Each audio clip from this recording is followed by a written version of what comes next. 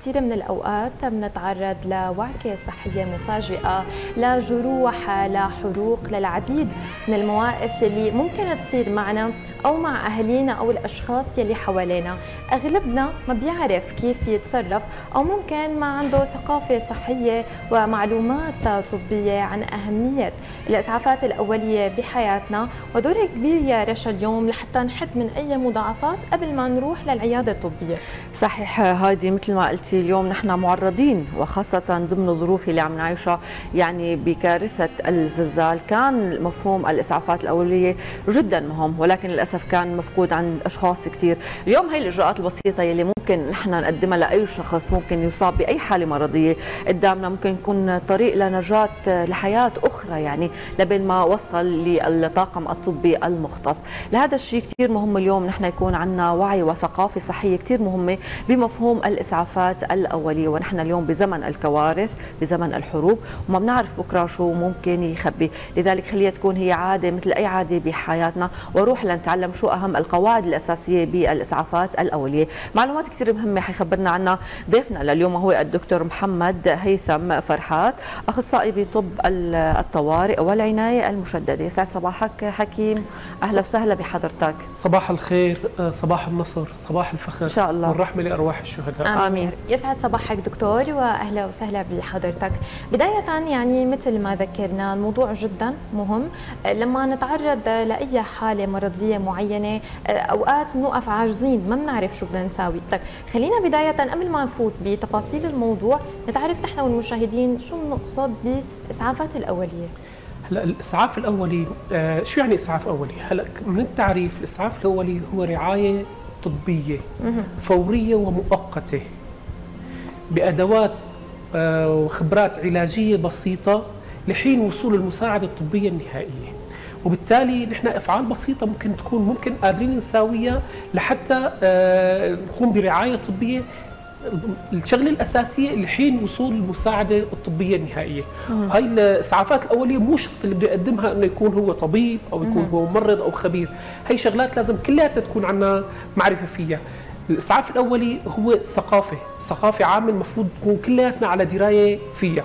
للأسف نحن ما عندنا هالوعي الصحي لحتى نكون عندنا دراية بمبادئ الإسعاف الأولي. ولهذا الشيء دكتور وخاصة بهذا الوقت يعني شفنا كيف الأحداث عم تتسارع بين كوارث طبيعية بين حروب بين نزاعات داخلية. خلينا نروح للأساسيات. اليوم كل حدا مسعف في مؤهلات مفروض يكون يمتلكها غير المهارات الطبية في مهارات نفسية وجسدية. يعني اليوم أنا لا أقدر أنا أقدم هي الخدمة للشخص مفروض يكون عندي مثلا خلينا نقولها بالعامية قوة قلب لحتى أقدر أنا أتحرك أو أقدم شيء الصح. خلينا نحكي عن الأساسيات المهمة ببناء المسعف؟ لا أنا حقول لك بالعكس الإسعاف الأولي هو شغلة كلياتنا لازم نكون فيها. وبالتالي ما المفروض إنه يكون في مؤهلات كبيرة هي شغلات بسيطة. يعني أنا مجرد مثلا لا سمح الله بينجرح واحد دمني وقت بحط بس شغلة نظيفة فوق الجرح بسكر عليه هذا إسعاف أولي هذا كلياتنا بنساوي بس أنا ما فيني اعمله كلياتنا لازم نكون قادرين وقت يكون الشخص اللي قبال مننا شخص بالفعل هو غالي علينا ونحن بدنا آه نساعده رح نقدر إنه أنا لهيك عم أقول لك القوة النفسية وال يعني أحيانا في ضعف يعني بيكون بمنظر ما يعني. القوة النفسية هي شغلة من تركيب الشخص. صح. ما شغلة ممكن يكتسبها الواحد مع بالممارسة أو بالخبرة أو بالحياة. فهي شغلة آه المفروض آه نوعا ما الواحد يكون في تدريب عليها بس للأسف ما فينا كثير نحكي فيها. بس أنا بيهمني الشغلات الأساسية لازم نعرفها. أوقات الشخص اللي ممكن يكون مسعف مو شرط مثلا يكون إنه آه شخص غريب. وقت الواحد لا سمح الله الشخص بيكون قريبك أو غالي عليك أنت ممكن تعمل شغلات ما ممكن تخطر ببالك. صح. نفسيا رح تقدر تعمل هالشغلات عاطفيا يعني قصة فمشان هيك أنت المبادئ الأساسية إن شو غايتنا نحن من الإسعاف الأولي مثل ما حكينا أول شيء آه رعاية مؤقتة. أه. الغاية منها صح. أول شيء تعزيز الشفاء. يعني أنا الإجراءات اللي بيساويها ما بدها تضر المريض بدها تساعد بالشفاء منقذه للحياة. هي الشغلات الأساسية اللي بيعتمد عليها الإسعاف الأولي هالمبدئين الأساسيات. وبالتالي هي الشغلات وقت الواحد يكون عنده معرفة وإلمام عام بيقدر يساويها. سابقا أذكر وقت كنا أطفال كانت هالشغلات هي ناخذها بالمدارس. وقت كانوا يعلمونا إنه مثلا إذا واحد وقع شو تساوي له؟ إذا واحد قرصته آه، حية أو قرصه عقرب شو يساوي؟ هي مبادئ أساسية للإسعاف الأولي المفروض من الصغر من الصغر آه، نحن يكون في تأهيل لها لحتى تصير عمل لا إرادي. إنه وقت بيوقع واحد قدامني أعرف شو بدي اساوي معه شلون أنقذه شلون أقدم له الشغلات الأساسية. فهي شغلات لازم تكون عندنا كلياتها وهي ثقافة عامة, عامة. ونحن آه، أنا كرئيس رابطة اطباء الطوارئ والعناية المشددة أخذنا دور لنشر هالوعي الصحي بالإسعافات الأولية. حاليا عم يصير اشراف آه، على دورات الإسعاف الاولي اللي عم تصير بالبلد من قبل هالرابطة هي لحتى تكون المعلومات التي تقدم هي معلومات صحيحة. لأنه الإسعاف الأولي هي ثقافة عامة لازم كلياتنا نكون عندنا دراية فيها. تمام. دكتور خلينا ننتقل نحكي عن الحالات اللي بتستدعي وجود الإسعاف الأولي شو الأمراض أو شو الأمور الأعراض اللي ممكن تظهر عندي وأنا لازم خلص لازم يكون عندي ثقافة بالإسعافات الأولية.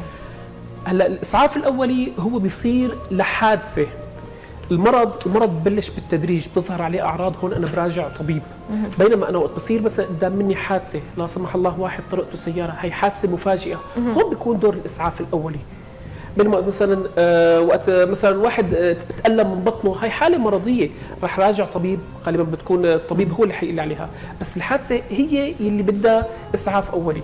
أول مبدأ وأهم شغلة بالإسعاف الأولي هو الأمان. شو معني نحن بالأمان؟ بعني أمان المصاب وأمان. المسعف. يعني مو معقول أنا أجي بدي أسعف شخص نكون بمصاب واحد نصير باثنين. شخص موجود بنص الطريق طرقته سيارة اركض بدي ساعده تجي سيارة تطرني أنا الثاني صرنا اثنين.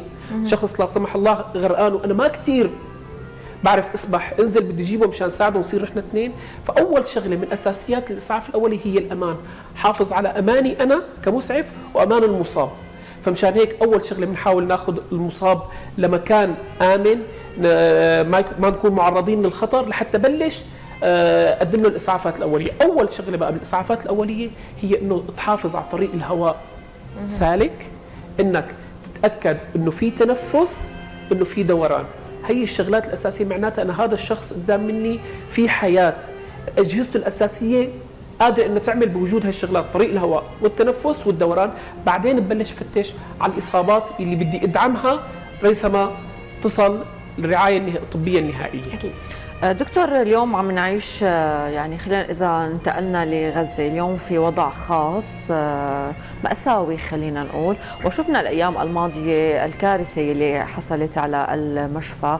يعني صرنا نشوف أخبار إنه تم إجراء عمليات بدون تخدير تم إسعافات من قبل أطباء مختصين بالشوارع لعدم توفر المكان والأدوات الطبية اللازمة.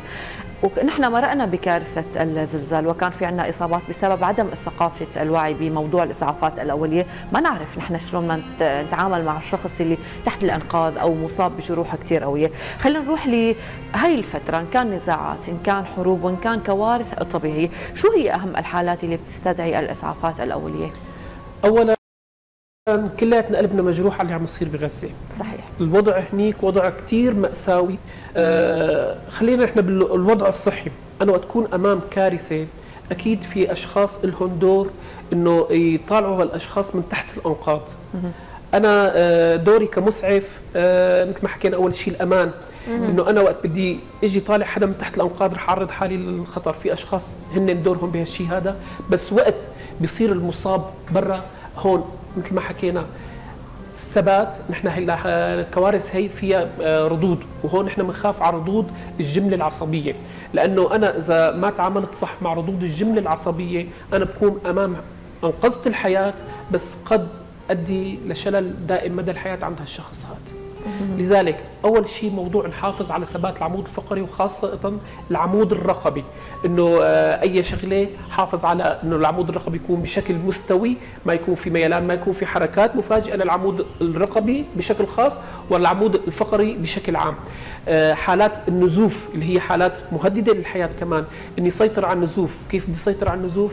مجرد وجود قطعة شاش نظيفة تحطها فوق الجرح هي كافية إنك مع الضغط المناسب هي كافية إنك تسيطر على النزف، ما في داعي لا أحط آه، الثقافات العامة اللي بنعرفها نحط آه، بن ونحط قهوة ونحط رب البندورة مشان تسيطر على النزف، هذا كلها إجراءات خاطئة وبتسيء للجرح مستقبلا، قطعة شاش نظيفة كافية.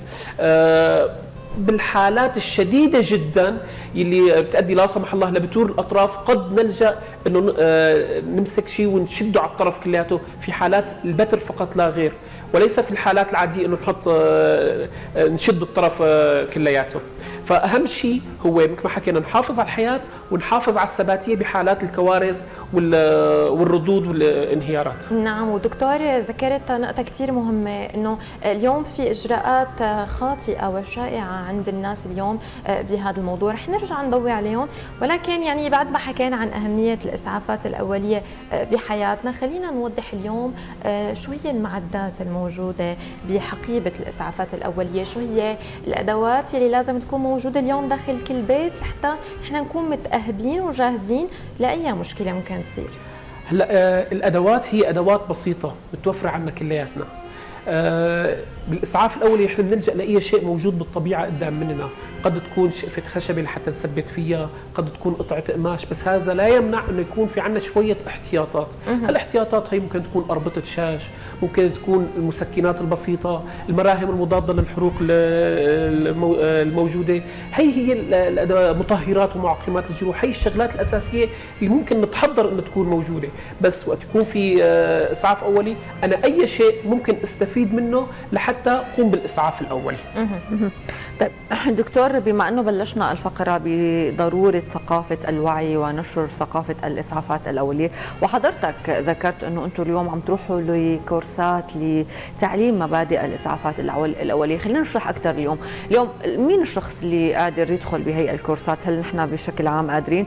خلينا نحكي أكثر اليوم. خلينا تكون إعلان من من خلال شاشة الإخبارية. كرمال الناس يعني تستفاد أكثر أي شخص بيلاقي بحاله إنه قادر يقوم بهالشغلة هي بيقدر يتوجه للكورسات هي لا بدها لا شهادات علمية ولا بدها مستوى علمي أو مستوى ثقافي لأنه هي آه ثقافة حياتية بنعيشها كلياتنا. أي واحد فينا معرض وهو عم يشتغل إنه آه تنطرق إيده شو بده يساوي؟ إنه يصير معه جرح شو بده يساوي؟ فهي كلياتنا فبالتالي ما هي ليست بحاجة إلى أي مؤهلات. في مراكز مختصة عم تقوم بدورات لتعليم مبادئ الإسعاف الأولي تحت إشراف مثل ما حكينا الرابطة السوري لطب الطوارئ والعناية المشددة. فيه يتوجه الشخص آه، لها نحن آه، ما بدنا نحدد بالضبط مين بالاسم بس موجودة عندنا بالبلد بياخذ مبادئ الإسعاف الأولي بشكل صحيح عن طريقهم. قد إيه دكتور؟ آه، هلا الكورسات عالميا آه، آه، مدتها تتراوح بيحسبوها بالساعات ما بين 24 ل 36 ساعة نعم. تدريب وتعليم. تمام. خلينا كمان نعطي أمثلة اليوم نوضح للعالم أهمية الإسعاف الأولي اليوم. كثير من الأشخاص بحياتنا والشيء الشائع يلي بنشوفه دكتور؟ إنه ممكن يصير معه الشخص جلطة قلبية أو سكتة دماغية. هون نحن بنوقف متربطين يعني ما بنعرف شو بدنا نتصرف.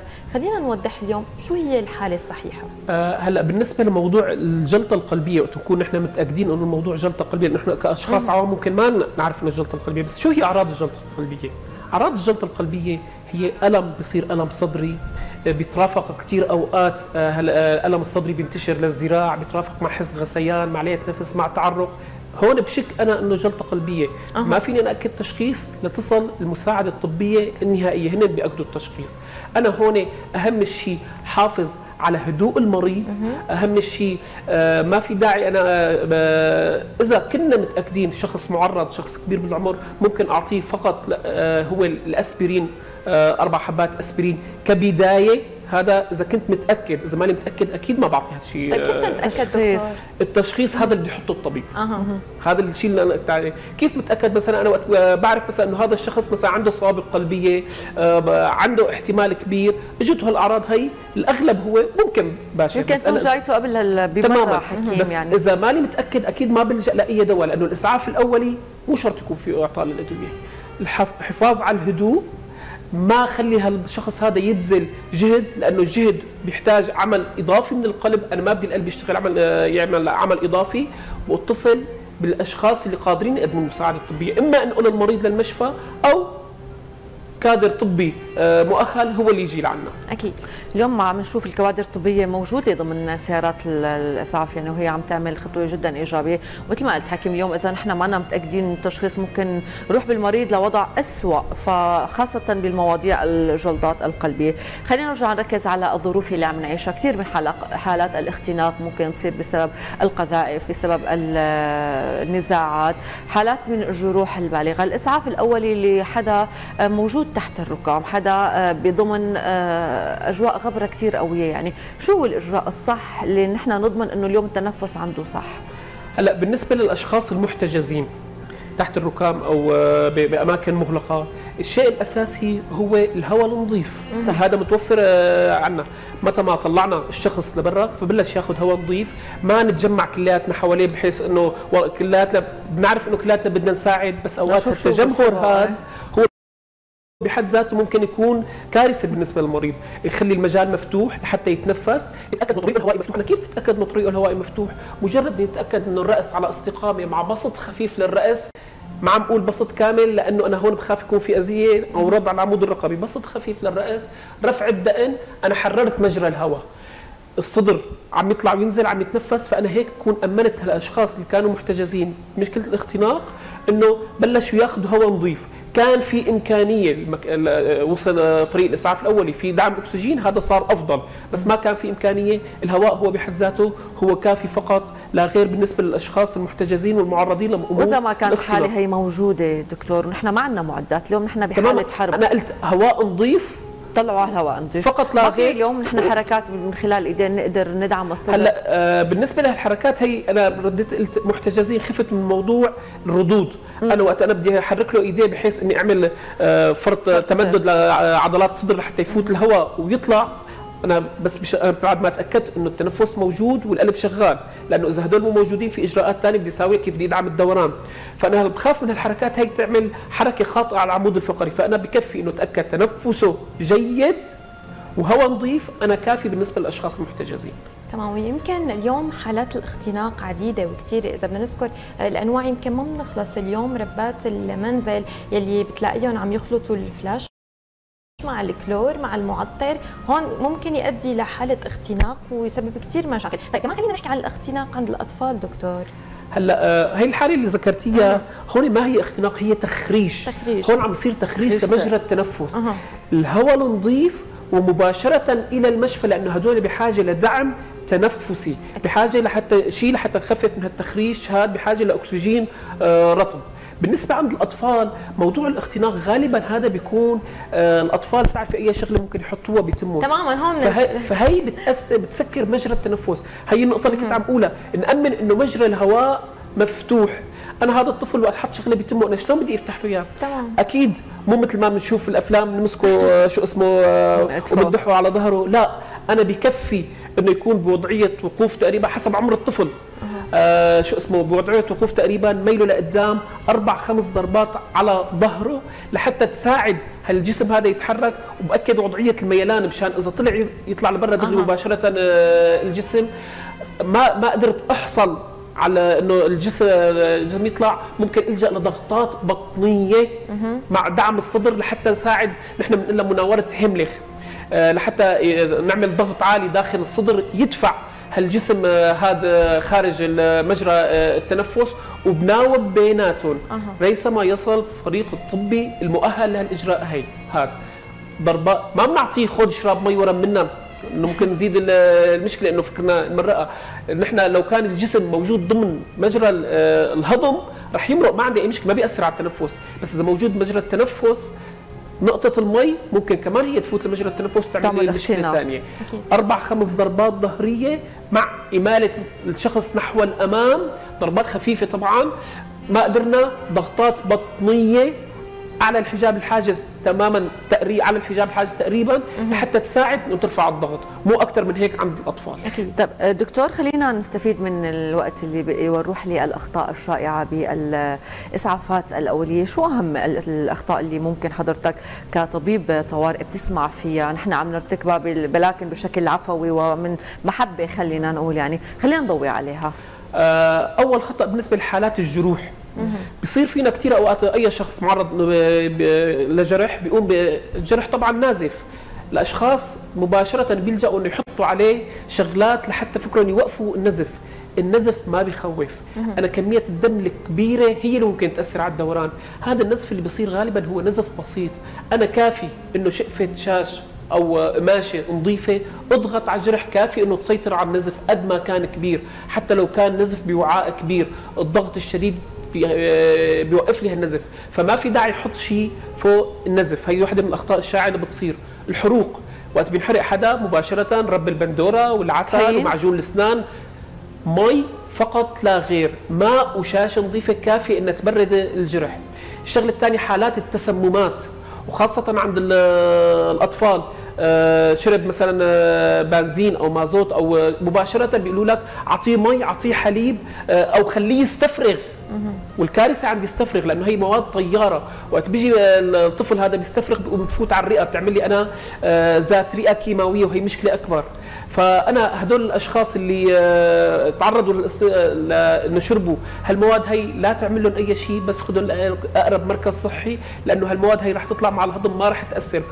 عملت الأذية وهي فايتة ما في داعي ترجع تكرر الأذية بس كثير دكتور بنسمع بالمواد السامه اللي بتدخل الجسم يعني هي آه، قديمة إنه حليب أو لبن يعني إنه ممكن آه، ما يخلي هذه المادة تنتشر بالجسم. هلأ هو مو ما يخلي المادة تنتشر أنا هون اللي بصير إني بلجأ إني مدد هالمواد هي لحتى خفف من تركيزها هي الغاية منها مو إنه ما نعم. في عندي مواد نوعية خصوصي لحتى أعطيها لحتى تعاكس عمل هالشغلات اللي أخذناها عن طريق الخطأ. ويمكن دكتور لسه في الأشخاص الكبار بالسن ما ذكرنا عنهم. ختاما وبشكل سريع اليوم قد إيه مهم نحن ننتبه لأدويتهم ننتبه إذا في عندهم ارتفاع أو انخفاض بضغط الدم نعرف وضع السكري عندهم. هلا بالنسبة لهدول الأشخاص الكبار بالعمر كثير أوقات بصير عندهم خربطة بالأدوية لأنه بكون أدويتهم كثيرة. آه، هلا هون وقت نحن صرنا عند دواء اخذه بالغلط أنا ما عاد فيني بالبيت طلعوا بشكل مباشر. هون أنا إلجأ للفريق الطبي لحتى هو يساعدني. نعم. تأثير الدواء ما راح يكون مباشر مو وقت بياخذ الحبة مباشرة آه، راح يصير التأثير. لبين ما تصل للأمعاء ويصير امتصاص في وقت الطبيب قادر إنه يتصرف نعم. معهم. الكبار بالعمر كثير بهمني ناكد على حركتهم لأنه الحركة الخاطئة ممكن تؤدي لكسور عفويه عندهم تكون حركتهم بطيئة ما يعملوا حركات مفاجئة. أكيد. بدنا نشكرك دكتور محمد لحضورك اليوم لكل المعلومات اللي ذكرتها اليوم جدا. مهم نحن نكون بوعي كامل لهي الثقافة. وإن شاء الله يعني نحن ما بنحتاجها ولكن هي ضرورية. شكرا. الشكر موصول لكم. والله يعطيكم العافية على مساعدتنا بنشر هالثقافة الصحية اللي هي آه، أساسية لنا كلياتنا بكل الأوقات وخاصة بهالظروف هي ظروف الحرب وظروف الكوارث اللي أكيد. بدنا نشكرك كثير دكتور وعلى كل المعلومات الطبية المهمة يلي قدمتها اليوم. أهلا وسهلا فيك. شكرا دكتور.